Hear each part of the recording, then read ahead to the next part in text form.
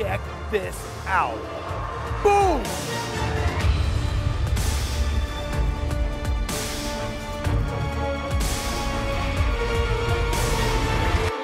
We'll be doing this every weekend for two months. Starting in Belfast, we hit Birmingham, Liverpool, Sheffield, Newcastle. It's been incredible racing Europe's, the world's fastest motocross riders. And we got freestyle motocross in there to boot, 75 feet of pure unadulterated air.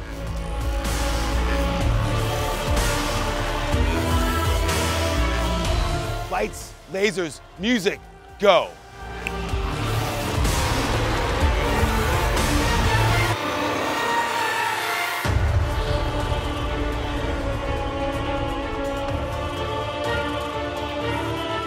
Start gate, ask any rider. This is where the mind games begin. If you can get a good start, you're putting your rivals under pressure. If you get a bad start, it's a long way back. This is the triple.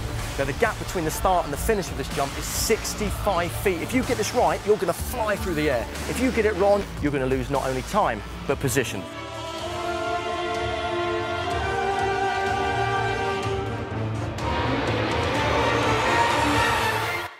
In London for the final stop on the Garmin Arenacross Tour.